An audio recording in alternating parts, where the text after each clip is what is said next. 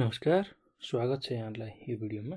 आज हामी यो भिडियोमा बाइनोमियल डिस्ट्रिब्युसनमा प्रोबेबिलिटीलाई कसरी क्यालकुलेट गर्ने भन्ने विषयमा चर्चा गर्नेछौँ र बाइनोमियल डिस्ट्रिब्युसनको कन्सेप्ट हामीले योभन्दा अघिकै भिडियोहरूमा सिक सिकिसकेका छौँ र बाइनोमियल डिस्ट्रिब्युसन भनेको डिस्क्रिट प्रोबेबिलिटी डिस्ट्रिब्युसन हो र डिस्क्रिट प्रोबेबिलिटी डिस्ट्रिब्युसनमा जहिले पनि हामीले प्रोबेबिलिटी मास फङ्सन लाई डिफाइन गर्छौँ र प्रोबेबिलिटी मास फङ्सन भनेको ऱ्यान्डम भेरिएबल र त्यसले लिने रेस्पेक्टिभ प्रोबेबिलिटीको भ्यालु भनेर बुझ्छौँ हामी। र प्रोबेबिलिटी मास फङ्सनलाई हामी पिएमएफले पनि रिप्रेजेन्ट गर्छौँ र बाइनिमियल डिस्ट्रिब्युसनको प्रोबेबिलिटी मास फङ्सनलाई हामी पिएक्स बराबर एक्स अथवा पिएक्सले रिप्रेजेन्ट गर्छौँ र यसलाई निकाल्न एनसी एक्स इन्टु पीको पावर एक्स इन्टु क्यूको पावर एन माइनस एक्स यो रिलेसनको युज गर्छौँ। र यसमा एक्सको भ्यालु जेरो वान टू हुँदै हामी यहाँसम्म लिन्छौँ अर्थात् पोजिटिभ इन्टिजर भ्यालुलाई हामी लिन्छौँ। र जहिले पनि एनसिएक्स यो भनेको कम्बिनेसन रिप्रेजेन्सन रिप्रेजेन्ट गर्छ यसले। एनसिएक्सले रिप्रेजेन्ट गर्ने कुरा भनेको कम्बिनेसन हो र यो एनसिएक्सको value N factorial divide by N minus X factorial into X factorial हुन्छ र पिएक्स पीको power x into क्यूको power N minus X as it is छ र हामीले सम्झिनै पर्ने कुरा भनेको P plus Q equals to one हुन्छ र पी भनेको प्रोबेबिलिटी अफ सक्सेस हो भने क्यू भनेको प्रोबेबिलिटी अफ फेलियर हो। र यो दुइटाको सम जहिले पनि वान हुन्छ। र एन भनेको नम्बर अफ ट्रायल्स हो। र त्यसै गरी एक्स भनेको नम्बर अफ सक्सेस ट्रायल हो भने एन माइनस एक्स भनेको नम्बर अफ फेलियर ट्रायल हो। र जहिले पनि हामीले प्रोबेबिलिटी निकाल्नु अगाडि यो सिम्बलहरूलाई बुझ्नुपर्ने हुन्छ। र यही सिम्बलहरूलाई हामीले सर्टकटमा लेख्छौँ। ल्याङ्ग्वेजमा दिएको जुन कुराहरू हुन्छ त्यसलाई सर्टकटमा लेखेर हामी इजिली पिएमएफको रिलेसन युज गरेर प्रोभाबिलिटीलाई क्यालकुलेट गर्छौँ र पिएमएफ क्यालकुलेट गर्न हामी यो रिलेसनलाई युज गर्छौँ। P X equals to N C X into pico power x क्युको पावर एन माइनस एक्स र यहीबाट हामीले रिक्वायर्ड प्रोभाबिलिटी क्यालकुलेट गर्छौँ। एक्सको भ्यालु डिफ्रेन्ट डिफ्रेन्ट राख्दाखेरि र एकदमै सजिलो छ यसलाई क्यालकुलेट गर्न। र यो बाइनोमियल डिस्ट्रिब्युसनबाट प्रोबेबिलिटीलाई कसरी निकाल्ने त्यो बुझ्नको लागि हामीलाई यहाँ प्रब्लम दिएको छ। र यही प्रब्लममा हामीले पिएमएफको युज गरेर प्रोबेबिलिटीलाई निकाल्छौँ। र हामीलाई यहाँ कुनै टार्गेटमा बमले हिट गर्ने प्रोबेबिलिटी यसरी दिएको छ। र त्यसै गरी दुईवटा बम एउटा ब्रिजलाई डिस्ट्रोय गर्न इनफ हुन्छ भने छवटा बम टार्गेटमा एम गर्दाखेरि त्यो ब्रिज डिस्ट्रोय हुने प्रोबेबिलिटी कति छ भनेर हामीलाई सोधेको छ क्वेसनमा। र यसको लागि हामीले सुरुमा हामीलाई दिएको इन्फर्मेसनलाई लेख्छौँ। र हाम्रो प्रोबेबिलिटीको भ्यालु छ P probability of bomb hitting a target pico value हामीसँग वान बाई छ वान बाई फाइभ छ र त्यसै गरी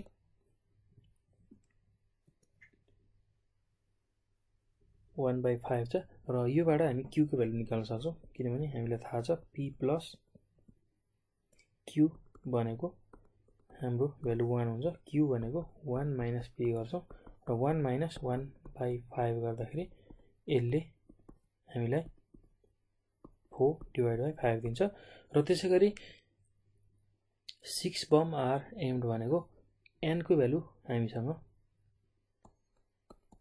सिक्स यसरी लेख्छौँ र two bombs are enough to destroy a bridge भन्छ। दुईवटा बमले नै ब्रिज ध्वस्त हुन्छ।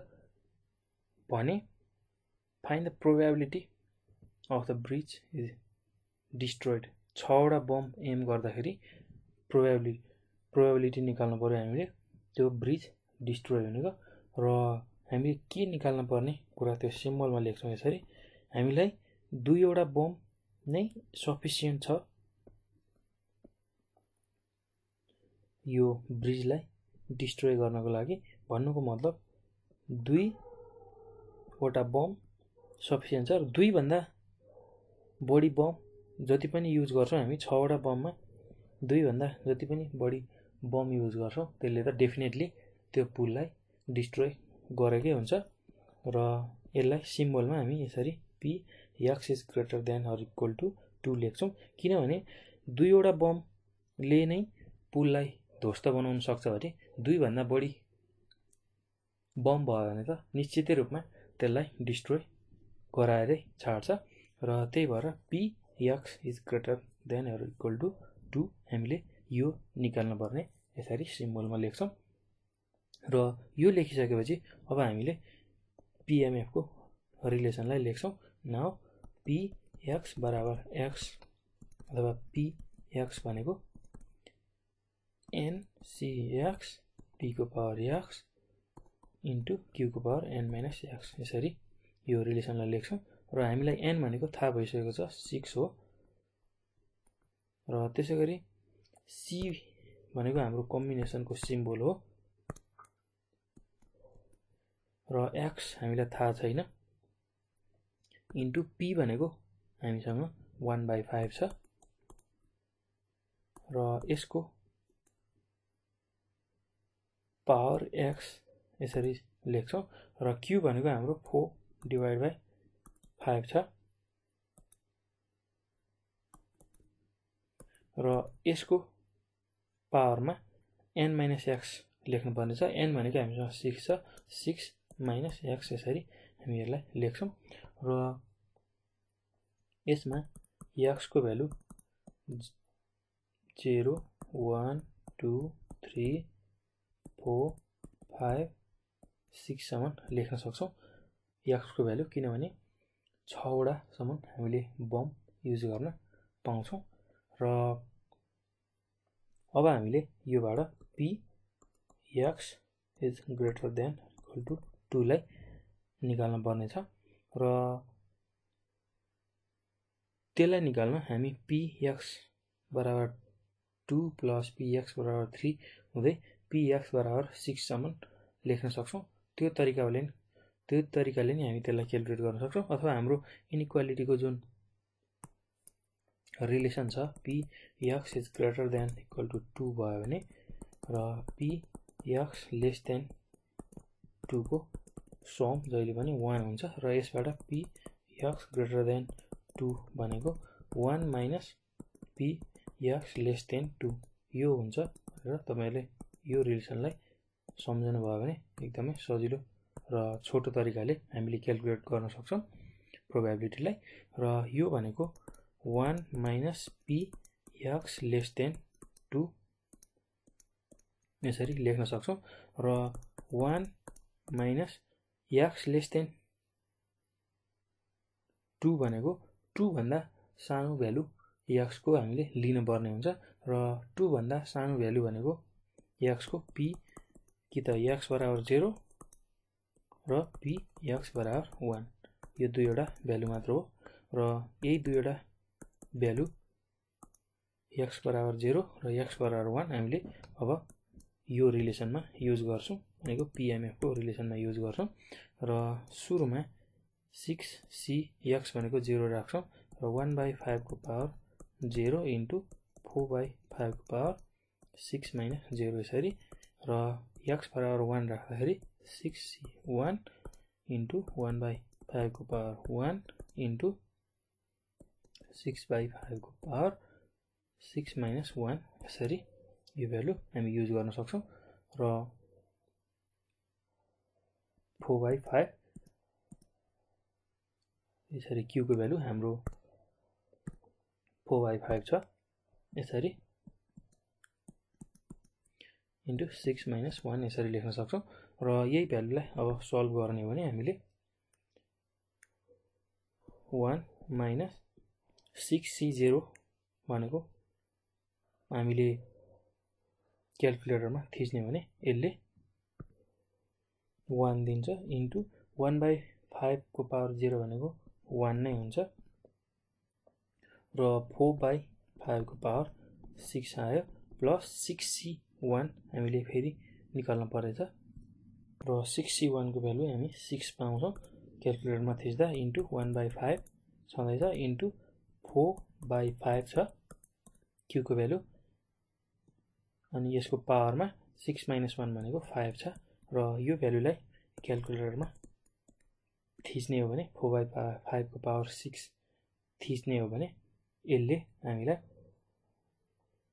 finally zero point two six two one four four दिन्छ। र यो प्लस यो भ्यालु हामीले क्यालकुलेटरमा थिच्ने हो भने यसले zero point three nine three two one six दिन्छ। र यो दुईवटा भ्यालुलाई जोड्ने र वानबाट हामीले घटाउने हो भने वान माइनस यो दुईवटा भ्यालुलाई जोड्दाखेरि zero point six five five three six आउँछ र वानबाट यो भ्यालु घटाउँदा हामी zero point three four five पाउँछौँ र यो नै हाम्रो रिक्वायर्ड प्रोभाबिलिटी हो।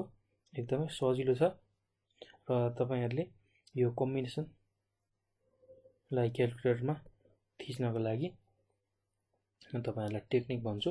सुरुमा सिक्स सी वान थिच्नको लागि सुरुमा तपाईँहरूले सिक्सलाई थिच्नुपर्ने हुन्छ। त्यसपछि सिफ्ट थिच्नुपर्ने हुन्छ र कम्बिनेसनको सिम्बोल यसरी एनसिआर भनेर यसरी सिम्बोल त्यहाँ दिएको हुन्छ क्यालकुलेटरमा कुनै एउटा भ्यालुको माथिल्लोपट्टि र त्यो सिम्बललाई थिच थिच्नुपर्ने हुन्छ र फाइनल्ली वानलाई थिच्दाखेरि त्यसले सिक्स सी वानको भ्यालु दिन्छ।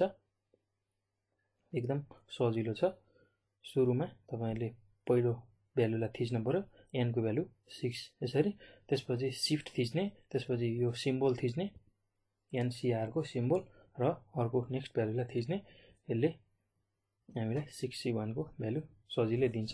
एकदमै सजिलो छ र तपाईँहरूले साइन्टिफिक क्यालकुलेटरमा मात्र यो कम्बिनेसन सिम्बोल पाउनुहुनेछ। र जनरल अथवा नर्मल क्यालकुलेटरमा यो सिम्बल हुँदैन र साइन्टिफिक क्यालकुलेटरमा यसरी थिच्दाखेरि तपाईँले सिक्स सी वान कम्बिनेसनको भ्यालु सजिलै पाउन सक्नुहुनेछ। यो मैले बताएको मेथड अनुसार तपाईँहरूले यसलाई थिच्नुपर्ने हुन्छ। एकदम सजिलो छ। र हामीले जहिले पनि बाइनोमियल डिस्ट्रिब्युसनमा प्रोभाबिलिटी क्यालकुलेट गर्दा यो पिएमएफलाई युज गर्छौँ। यो रिलेसन तपाईँहरूलाई थाहा हुनुपर्ने हुन्छ र यसमा भएको सिम्बोलहरूको बारेमा पनि तपाईँहरूलाई थाहा हुनुपर्छ। यो सिम्बोल र यो पिएमएफको रिलेसनलाई थाहा पाउनुभयो भने इजिली हामी प्रोभाबिलिटी क्यालकुलेट गर्न सक्छौँ र त्यसै गरी तपाईँहरूले प्रोभाबिलिटीको प्रब्लम सल्भ गर्नु अगाडि क्वेसनलाई राम्रोसँग पढ्नुपर्छ र क्वेसन पढेर त्योमा भनेको कुराहरू बुझियो भने हामीले क्यालकुलेसन इजी तरिकाले गर्न सक्छौँ र जहिले पनि क्वेसनलाई प्रोभाबिलिटीको क्वेसनलाई सल्भ गर्दा त्यसलाई ध्यान दिएर पढ्नु होला र त्यसमा भएको सिम्बलहरूलाई लेख्न जान्नुभयो भने क्यालकुलेसन त एकदमै इजी छ। क्यालकुलेटरलाई राम्रोसँग चलाउन जान्ने पछि प्रब्लम इजिली क्यालकुलेट हुन्छ। एकदम सजिलो छ। उहाँहरूले यो भिडियोलाई हेर्नु होला बुझ्नु होला। र विशेष गरी यस्तो खालको रिलेसन जुन छ यो रिलेसन एक्सेसिभली युज हुन्छ बाइनोमियल डिस्ट्रिब्युसन र प्रो पोइजन डिस्ट्रिब्युसनको प्रब्लम सल्भ गर्दा यो रिलेसनलाई तपाईँहरूले विशेष ध्यान दिनु होला र बुझ्नु होला र सम्झिनु होला यसरी यो दुइटाको सम जहिले पनि वान हुन्छ र यसबाट एउटा भ्यालु हामी इजिली क्यालकुलेट गर्न सक्छौँ। यसरी भनेर र यो भिडियोलाई ध्यान दिएर हेर्नु होला बुझ्नु होला र यो भिडियो हेरिसकेपछि यसलाई कपीमा तिन चार पटक प्र्याक्टिस गर्नु होला। र यो भिडियो हेर्दा तपाईँहरूलाई कुनै कन्फ्युजन भएमा हामीलाई सम्झाउन सक्नुहुनेछ त्यसको लागि nine eight four nine five nine five eight nine five यो हाम्रो सम्पर्क नम्बर। त्यसै गरी स्ट्याटिस्टिक्स लर्निङ नेपाल यो हाम्रो फेसबुक पेज हो र यसमा पनि हामीसँग जोडिएर आफ्नो जिज्ञासा समस्या कन्फ्युजनहरू हामीले राख्न सक्नुहुनेछ र हामी त्यसको समाधान तपाईँहरूलाई गराउनेछौँ र यो भिडियो हेरिसकेपछि यसलाई लाइक सब्सक्राइब र सेयर गर्न नभुल्नु होला धन्यवाद।